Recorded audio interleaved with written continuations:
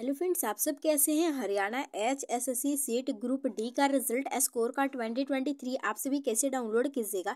इस वीडियो में step by step करके डायरेक्ट लिंक से रिज़ल्ट स्कोर कार्ड डाउनलोड करने की कंप्लीट जानकारी देने वाले हैं। तो वीडियो के अंत तक बने रहिए तो चलिए इस वीडियो को शुरू करते हैं। तो इसके लिए आपको अपने मोबाइल फ़ोन में किसी भी ब्राउज़र को ओपन कर देना है। हमने यहाँ पर क्रोम ब्राउज़र को ओपन किया है। फिर सिंपली सर्च बार पर आना है और वेबसाइट को कुछ इस प्रकार से टाइप करना है। एग्ज़ाम सरकारी रिज़ल्ट डॉट इन्फो कुछ इस प्रकार से स्पेस दे के टाइप करना है, फिर आपको सर्च करना है। स्क्रीन को स्क्रॉल करिएगा तो यहाँ पर एग्ज़ाम सरकारी रिज़ल्ट डॉट इन्फो का ऑफिशियली वेबसाइट शो कर रहा है। इस पर क्लिक करके वेबसाइट को सिंपली ओपन कर देना है। तो यहाँ पर कुछ इस प्रकार से वेबसाइट ओपन हो चुका है। स्क्रीन को स्क्रॉल करनी है और इसमें काफ़ी अपडेट देखने को मिल जा रही है। तो सिंपली स्क्रीन को स्क्रॉल करनी है और आनी है आपको यहाँ पर अपकमिंग के सेक्शन में।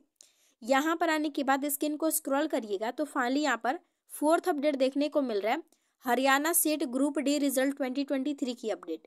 तो आपको इस पर क्लिक करना है और इसको ओपन कर देना है। तो कुछ इस प्रकार से यहाँ पर ओपन हो चुका है। स्क्रीन को स्क्रॉल करनी है और इसमें रिज़ल्ट से रिलेटेड शॉर्ट में डिटेल देखने को मिल रहा है। देखना चाहिएगा तो देख सकते हैं। स्क्रीन को स्क्रॉल करना है, रिज़ल्ट को चेक करने के लिए आना है। डायरेक्ट इंपॉर्टेंट लिंक है सेक्शन में। नीचे शो कर रहा है चेक रिज़ल्ट इसके सामने क्लिक हियर का ऑप्शन शो कर रहा है, इस पर क्लिक करना होगा। इस पर क्लिक करते ही यहाँ पर नया ऑफिशियली साइट ओपन हो जाएगा।